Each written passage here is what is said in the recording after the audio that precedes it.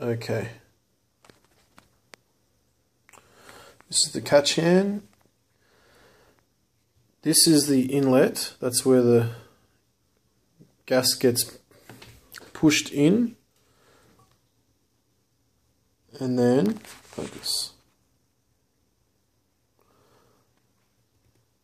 And then it swirls around there and it goes down and it's got to go through the filter.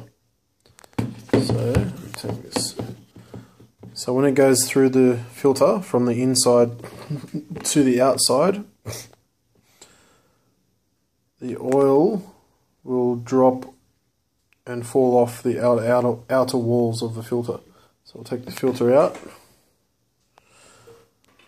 Then the, the oil will fall down into that catch area down there. And the, the gases, the air, the gas will go through that hole, which is the outlet hole. So at the moment that's open. That's open. But if, if I push on that, that that shuts it off. So let's see. When I push on that thing, that little rubber thing in there, it's like a rubbery thing, that shuts off the airflow. So open, shut. So I don't really know why that is, but the only way I can get that to to move is if I put the cap, the top lid on, and I block the inlet hose off, and I block the drain hose off, and I suck on this, on this bit. What happens when I suck air out of there? This happens. It shuts. It shuts off the air passage. So it's like a reg regulating pressure pressure valve or something. So that cap goes on there.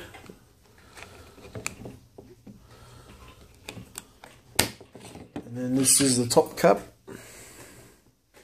So that's like a overpressure valve. So when just say that's full of oil and the gas isn't flowing through anymore and you if your gas if your blow by gas can't get out of your engine then it'll because this is blocking it it'll come out through that valve will open and let the excess pressure out.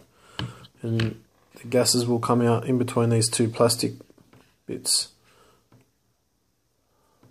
It'll go through there and out here.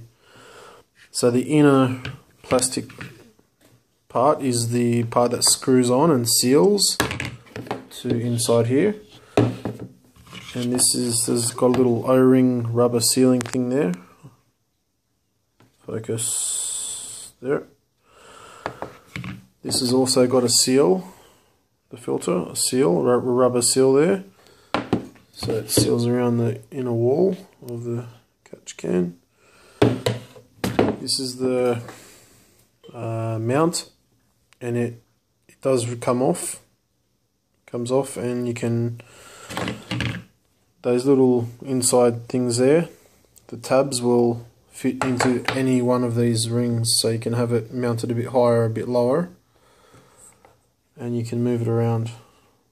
Move it sort of any way you want. That's it. Filter filter hard mesh inside. Feels really well built. It's um, plastic, not metal.